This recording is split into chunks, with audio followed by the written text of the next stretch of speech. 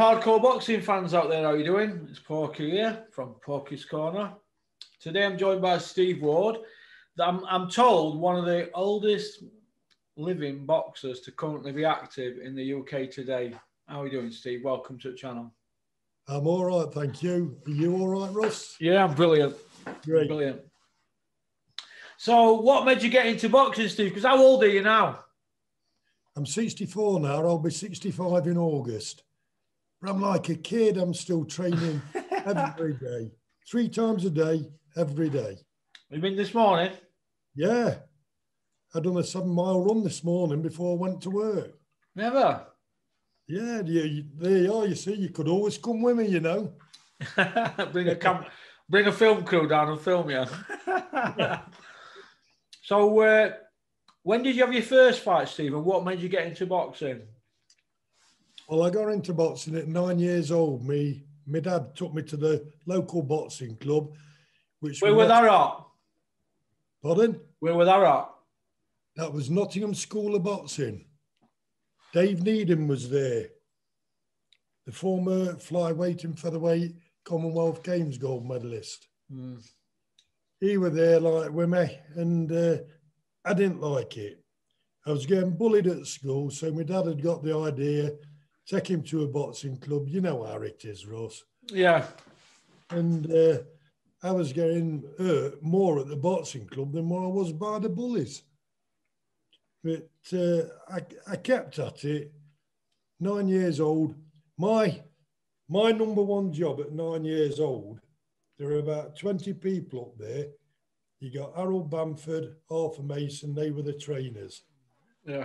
My number one job, what were allocated to me, being the young kid of it all, nine year old, I'd got to empty the bucket at the end of the night. And you know what bucket it was? Mm. Fantastic job, eh? Mm. And then at 11 years old, two years on, I still wasn't struck on being a boxer. It didn't interest me. Yeah. I had my first fight at 11. Yeah. That was at uh, Daybrook Working Men's Club in Arnold. It was just like Vegas to me.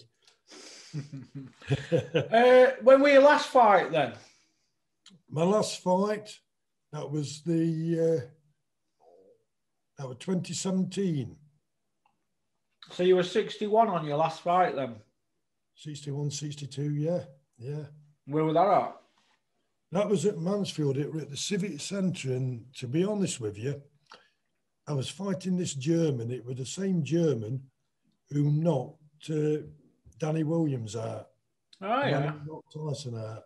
Yeah, and he was six foot seven. What Yeah. a monster of a man! And I was fighting him for the heavyweight WBC, the World Boxing Confederation veteran championship of the world.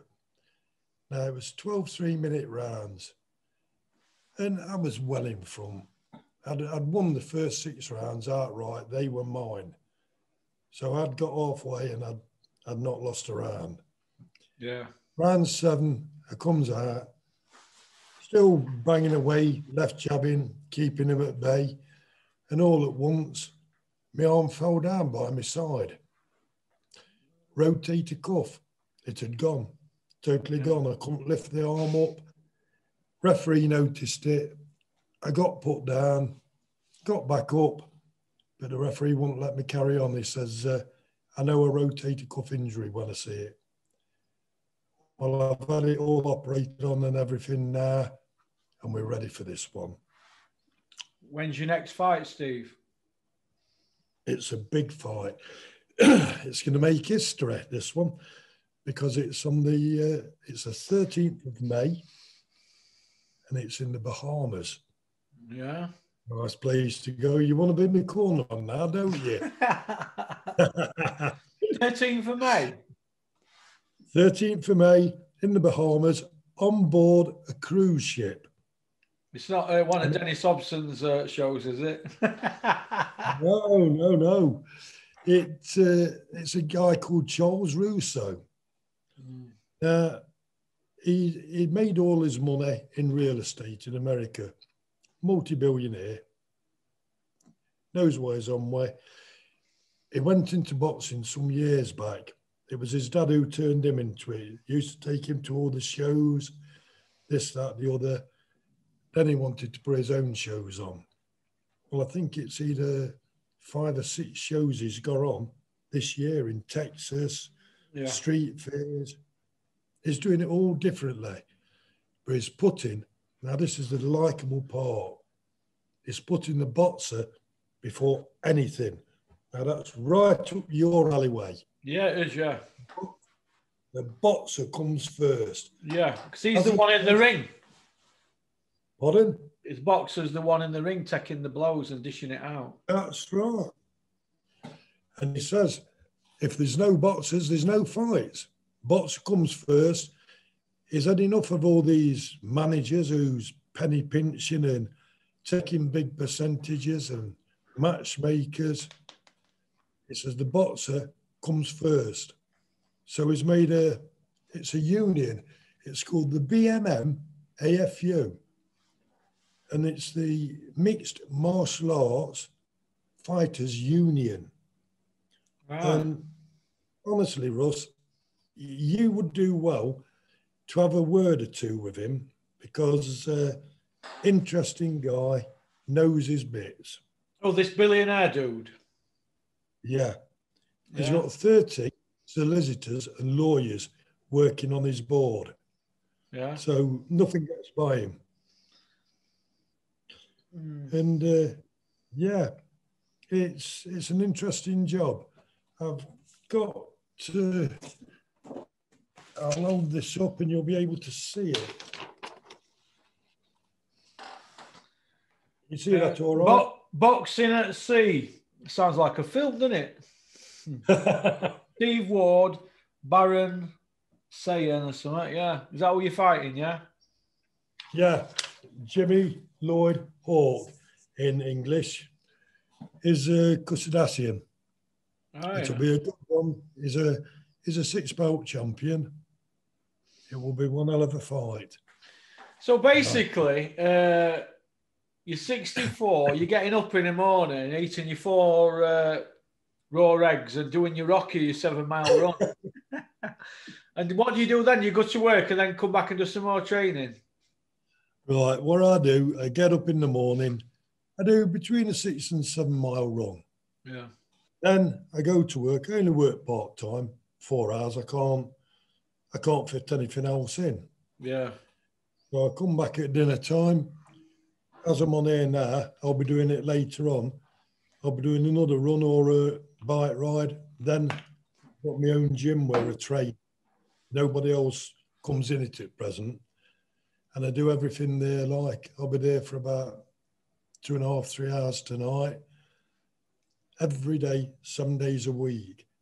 Have you got a. Get, Sorry, go on. Go. No, I was going to say you do that seven days a week. Have you got? Are you in a relationship or anything, Steve? Have you got a partner? I'm Pardon? married. And does does I'm your married. does your wife take a? Is she does she is she second after boxing? No, No. No, she's she's on there level pegging with it. In fact, more than likely above it. Yeah. She's everything to me, and she backs me up. She's behind me one hundred percent. I tell you what she does. She walks me down to the ring. Yeah. She actually walks me down to the ring. Says you're a spangly coloured Union Jack swimming costume, tiara on, British flag flying. I normally have four women walking me down. Well, your missus wears a swimming costume into the ring with you, yeah? Yeah, yeah. Brings me down to the ring. Oh yeah. If you make them part of it, Russ, you've got Yeah. no problem. Yeah, yeah, yeah. Yeah, good idea, that, yeah. Good idea. And uh, do you do any strength and conditioning and things like that? yes, I do. Yeah, I do. I do that regularly. The the weights, I do a lot of weights, but you know, I've never liked it. It's Yeah. so boring Yeah. because whatever exercise you're doing with weights, you're doing it repetitive, and nah, it's so boring. But I have to do it. Yeah. Uh, what what sort of people have you sparred with then over years? Right. Oh, I might The know. one- Mr. Marvin Agler. You sparred Agler, yeah? Yeah, I've sparred with Agler. Uh, Laing, can you remember Kirkland? Kirkland Laing, yeah, well, he's from your way, isn't he? Yeah, Clifton. Yeah. Kurt Laing, Tony Laing. Oh, I've sparred with quite a few. Uh, Benn, Nigel Benn. yeah, Nigel. Nice guy. Got a lot of time and respect for him. Yeah, there's quite a few. Bruno. Frank Bruno. What weight are you going to fight at in Bahamas, Steve? Heavyweight. It is an Heavyweight. heavyweight contest. What are you about Um, seven, 17 stone? Me? No, 15. 15. Oh, so you're a small heavyweight then, aren't you? Yeah, yeah. But as long as I make that heavyweight sector, Yeah. they can't do anything about it. I mean, that starts at 14 stone four, I believe. Yeah. Did you have any pro fights, Steve? Yes, I did. I had, uh, now let's get this right. I had 148 amateur fights, 12 losses, 136 wins.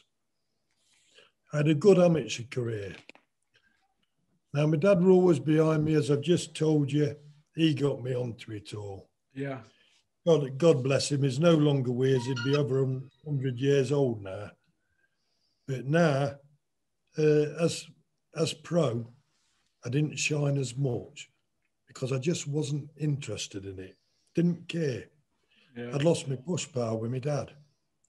Do you know, it's something to admit, and uh, it's a bad thing to admit. I used to go to fights sometimes, and I'd only been to training probably once. Yeah. It it was bad. I was, I didn't behave well, Ross. Mm. I was a fool to myself more than anybody else. Oh, what best guy you boxed as a pro, uh, Steve? Uh, Not sparred, just box. you know, in a fight. yeah, to fight. For Yves Monsieur, which he was a, I believe he was a Italian, I'm not sure.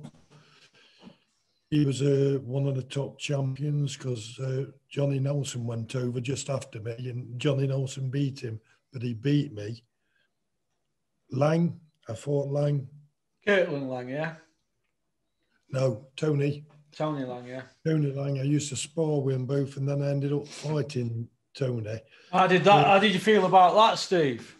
Because you were obviously mates, weren't you? Yeah, it, it's awkward when you you know each other's moves and everything. You more or less know what they're going to do, how they're going to come out. It's awkward, but you yourself know. In boxing, you turn off when you go in that ring, turn back on when you come out. Yeah. You'll always be a friend, but in there, it's who's strongest and who wants it most. Did you? Bad day that day was pardon? bad day that day because he must have wanted it most. He beat me. Uh, I believe he used to be a doorman with Frank Froch, Carl's dad.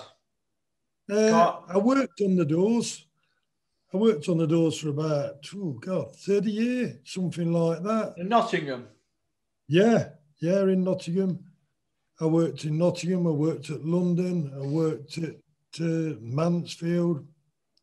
One of the hardest doors ever was Matlock Pavilion. Have you ever heard of Matlock? No, I know where Matlock is. Yeah, uh, one of my pals lives there, but I've never heard of Matlock Pavilion. Well, Matlock Pavilion was right in the centre of Matlock Bath. And uh, I worked there when all the Hells Angels used to come down. And by God, if you were chucking one out, you were chucking a dozen out. You got to watch yourself.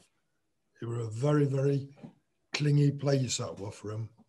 You and Frank back to back, Warwick, back in them days on doors. Uh, I only worked with Frank a couple of times, like because I didn't actually work at the same place as him. But if somebody were needed, I used to step in sometimes, and then I'd be working with him. But yeah, he worked on uh, oh the one on Bottle Lane, Ariba. Ariba. Ariba, and it was a lot of very very narrow steps. You couldn't pass on them. it was one person on them. So if you were chucking somebody out, you got to make sure you got a clear way, otherwise it were a game of skittles. hmm. Yeah, we had some we had some fun times. Uh, what do you think about boxing today? Do you think it's changed since you fought, or do you think it's still the same and it hasn't progressed? You know, now it's it's beginning to get too political. Yeah, it really is, and it, it's not it's not a matter of progression. I, I personally don't think it's progressed at all in my eyes. Before, when I was fighting, you knew what was what. Yeah. Now it's all legal wrangles and money and this, that, and the other. You didn't used to have half a dozen fights to confirm who's the best. You didn't need it. No. If you had a close fight, you'd perhaps say another one. But you wouldn't have half a dozen and make money on money on money. And it was the same with the, the titles as well. You got your you got your area title, then you got like your your British English title, and then it, it went up. You knew where you were with them. Now there's that many titles, this intercontinentals, and I get bewildered by it all, and I'm sure I'm not the only one. Oh, tell me about it. We knew where everybody's level were, didn't we? Area, English, British, Commonwealth, European, world. Now yeah. they skip all that, they get an intercontinental and a world ranking, and then they're getting thrown in and beat up because they've not yeah. learned, learned the craft. It's like a joiner back in day did a seven year apprenticeship. You couldn't give a YTS. You couldn't tell him to build a bar in a jeweler's, go build a you know, or, or, a nightclub after two years because he wouldn't have his craft, would he? Exactly. It is an apprenticeship. And a lot of people aren't passing it right. You know, at one time, you you didn't just say, "Oh, I'm going pro," and go pro. You had to be watched. Were you good enough? How many fights did you have? You've got them turning pro after what? Half a dozen fights now. Mm. At one time, you'd have been laughed at. It'd be 20 fights at least. Yeah. It, nowadays it's it's so different. I mean, all this trouble with Joshua and everything. For God's sake, it's obvious it's just a money blag. And it is. It's one bloody great big money blag. For God's sake, shut the mouths, get in there, do the job, know the verdict.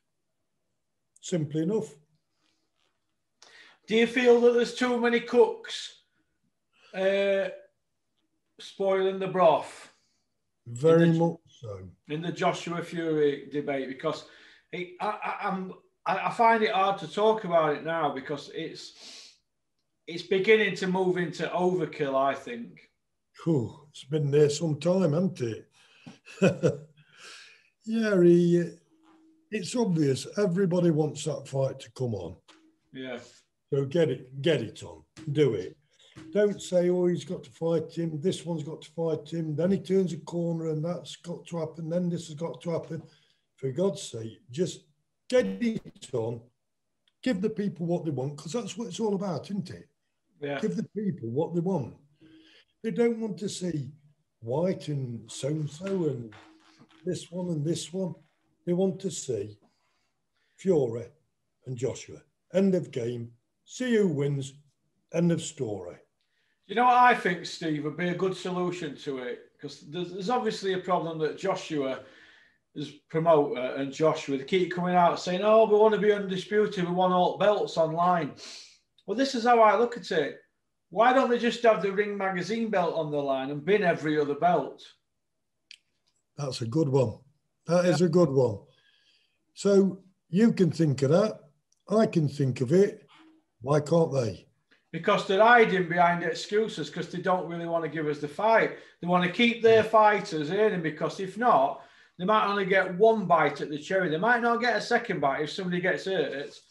They might only get one bite at it. So, wouldn't it be better if they keep building it up and building it up while earning millions fighting everybody else And at the same time, in their heads, they're thinking they're building up for us. But I know from public opinion, what I get every day in my texts and emails, that people are now going off it, the turning.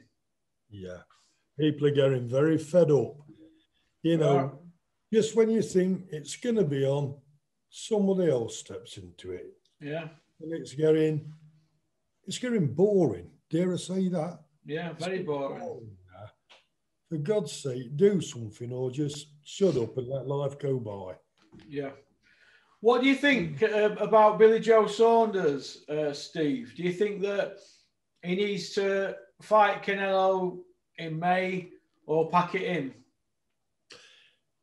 Well, the thing is, you know, if he packs it in, he's always going to have that big, big question coulda, woulda, if. Should? Yeah. Yeah, you know how that is. We've both been there. So at the end, end of the day, I think it's best for him to get it on, give his best, and he knows the answer then, don't he? One way or the other. Yeah. I mean, you've got, good, sorry. no, I was just about to say, you've got to give Callum Smith credit for taking it at four week notice, haven't we? Yeah, yeah. He's he's got guts. He knows why he's on way. A lot of a lot of boxers. I'm one of them, so I know it happens. You train and you're training hard all the time, and you leave yourself, we'll say, thirty percent below fight time. So in that four weeks, you can burst up and you can get it very close to the hundred percent. You won't get it to the 100, but you can get it close to it. And then you've got the other boxers what just put weight on, walk around, get plump, and don't do anything in between the fights till they get another fight. Because one way and the other, don't it? I would say that Callum, he probably is on the other side, bearing at that 70%, ready to kick it up when needed. Yeah. Do, do, do you think that Callum might have left it in in in the gym? Some of the because he had a lot. He's been a long time out at ring, wasn't he? Yeah, yeah. Uh, he's got a good brain on him. He's got a good brain on him. He's looked after well. I think he knows better than to leave it all in the gym. You've got to coast it. Still train hard. No reason not to, but coast it so that you're not doing silly things and coming out there too tired. You've got to know that nice little level. Yeah. Yeah. Be a good fight for him. Yeah. What do you think about who's the best fighter to cut to, out of Britain in the last 20 years? Who's who's fought everybody, would you say, in the last 20 years in this country and not ducked anybody? Hmm. You've got to look towards Froch, haven't you? Yeah. You've got to, because when all's said and done, he never ducked anybody. And he was always up and, in fact, he was the other way. He were pushing him for it, wasn't he? Mm. He, uh, he was a good, good fighter. Got a lot of time for him. Good fighter. I would say he's probably the one. You had uh, Kirkland Laing, fought Duran in Detroit, and well, after that, he just Went missing. he went missing. Well, we know where he was, don't we?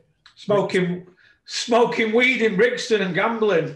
Bob Marley look-alike in Brixton. Walking around Brixton with uh, dreads. Yeah, man. Yeah, man. Yeah, man. Yeah.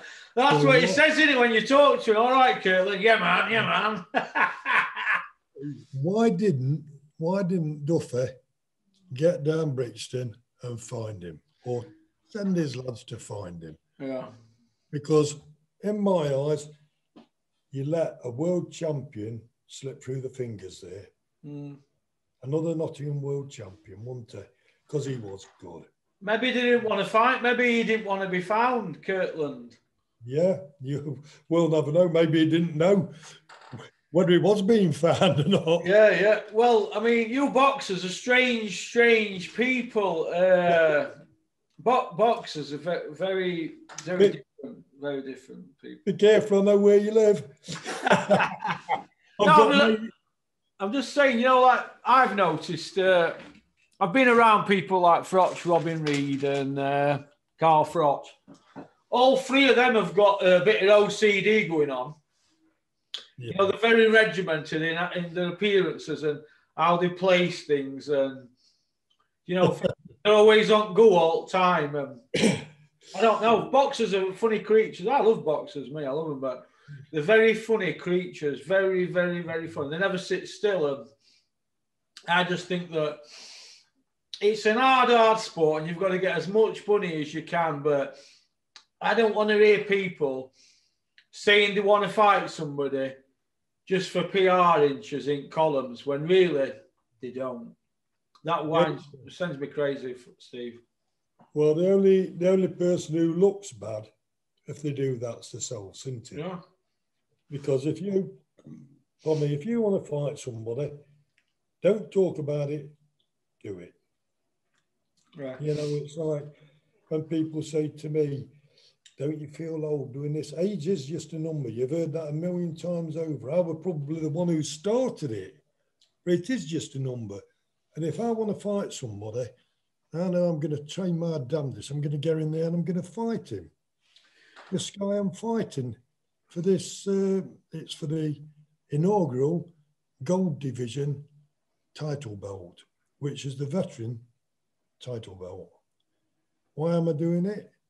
Because I want to, and I feel that I can do it still. Yeah. I'm, uh, I'm training with some of the young ones before, you know, the shutdown and everything, and they're finding it hard to keep up with me. Mm. That's only determination because one person wants to do it, really wants to from the heart, and they only half want to do it. There's a difference. Yeah. As you've said, get in there and fight. If you say you want it, then mean it. Don't don't play around. It isn't a game. If you look at it, you've got tennis, that's a game. Football, that's a game. Rugby, that's a game. But you don't hear of a game of boxing, do you? No. Because that ring can be the loneliest place on God's earth if you're on the wrong side of a beating. That bloody referee, I'm sure they join in sometime and hit you when you're not looking. Froch once said to me, right, he said to me, You're out there on your own, you've got to have everything. And if you if you if you if if you haven't got it right or you've cut corners, you're in for a long night. You just there's nobody can help you when they're in there. Your trainer can only speak to you in between rounds, can't he? Yeah, it, like I say, it can be a very, very lonely place. You know, there's nowhere to hide. You're either good enough on the day or you've you've lost it. And it's down to yourself to make sure you're good enough. All right. Let me ask you a few questions about how the sport's governed in the UK. Do you think it's, do you think it's governed correctly? You don't have to answer that if you don't want to, because a lot of people don't want to answer it. Uh, to, well, professional, amateur, yes, that's governed all right. But professional, I'd feel that it's more governed betterly if they stopped mucking around, sidestepping, and got on with the fights in hand. Yeah. You shouldn't let people sidestep and not do things just because they don't want to. They owe it to the crowd. Who puts them there? The crowd. Who pays for them to be put there? The crowd. Yeah. So it's down that they owe, they owe the people.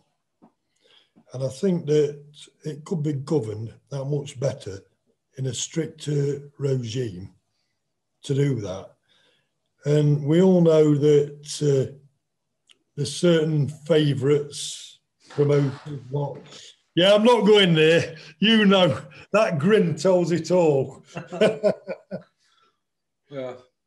yeah, you know what I was going to say, but Yeah. uh, probably better not. Hmm. Uh, where do you see yourself in six year when you're 70? Because I'd like to hope that you're not going to be doing this when you're 70, uh, Steve. No, no, uh, probably, probably 65 will see me done. I've got something in mind. I've got something in mind. I'm A always- book. bring a book out. It's done. Oh, have you done your book? Yeah. No, it's not. It's not finished yet, but it's already in uh, in motion. We're 12 weeks into it. I've got a fantastic author. You're from Leicester Way, aren't you? No, Doncaster. Doncaster. Oh.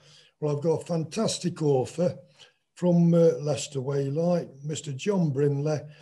And yesterday, we got a publisher. Yeah. Publishers uh, took it up like. So uh, that is something what is in the, the offing now. Something what you probably don't know, and this is an important little thing. I'm going to show you something here. Go on then. There you are. Oh, is that for your book? No? Oh, Steve. Uh, yeah. Can you see it? Yeah, yeah. Yeah. Yeah, the old you're the oldest boxer in the UK then, aren't you, at the moment? No. Oh. I'm the Guinness World Records triple champion and the oldest active professional boxer in the world. Hey, oh, in the world? World, yeah. And uh, they've just made a documentary, my life story, called Champ of Champs. That was the little job I've just shown you. Oh, brilliant. And it's won 36 international film awards worldwide, including, you ready? Cannes. Oh, brilliant. We'll have to get you on boxing asylum, won't we? There you go, yeah. Four weeks ago, it won the Cannes Film Festival for the uh, the best documentary and the, the best ooh, best publisher. Oh. Really, really good. That's brilliant. I'm honoured to have you on here today, then, Steve, or Mr. Yeah. Ward. Now, listen, I've got two arms, two legs, and I, I go on the same toilet as everybody else, and I'll never alter. Yeah. I'm behaving myself. I've not said one swear word. You're a good lad. Yeah, you are. well, listen, it's been great to have you on, Steve. You're welcome on anytime you want to come on again. How's that? Thank you. I really appreciate that. And I'll take you up on it because after this fight, there might be a lot to talk about. There will. Do you want me to put this out today, or do you want me to send it to Tech Lads and put an introduction to it and uh, an ending? Uh, what do you want? What do you want me to do? Do you want it out today, or do you want to let me, let me jazz it up over a few days? Jazz it up over a few days, then. All right, then. Is there any? Yeah. Can you send me a couple of photos of you? You know, three or four photos, five photos, and I'll put them in as inserts, or I'll tell Cameron to put them in. No problem. What fighting or just normal photos when we in the gear? Whatever you want to send me, you send me. We'll put it in because we just had a frank discussion. We've only just met. Obviously, we met through uh, Terry Curran, didn't we, footballer? he's, he's your mate. He's your mate, isn't he, Terry? Oh, you'd be surprised who I know. He's a bit. A, he's a character, a isn't he? Just a bit. Hmm. Sportsman. We're all crazy, aren't we? And his pal, the dripping tap, Sean from uh, yeah.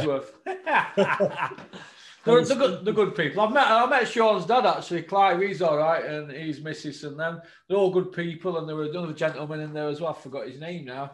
John. John. John. He's John Brindley. That's the author. The yeah, book. that's the author, is it? Yeah, that's the. Yeah, I got to meet him as well. He's all right. So, but yeah, if you send me about five photos, and what I'll do, I'll get Cameron to put an entrance on, and then an ending, and some. We have to put sponsors on it, and that, and. Uh, we'll put the inserts in and we'll, it'll probably be two or three days. Is that all right? That's great. Can you send it me through when you've done it? I'll send you it straight away once it's done. You'll be first to get it before it goes out. Brilliant. Thanks having me. No, no problem. Keep in touch. You've got my number, Steve. Yeah. You take care, my friend. Take care, my friend. Bye bye. God bless. Bye.